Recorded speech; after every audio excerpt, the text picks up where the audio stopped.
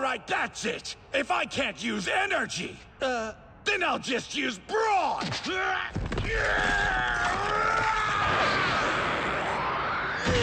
hey! Awesome idea! You're really smart, Vegeta!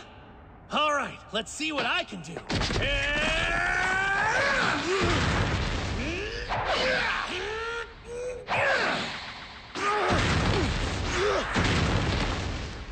What's the holdup? Harmira, why aren't you firing? We can knock them out of the tournament in one shot!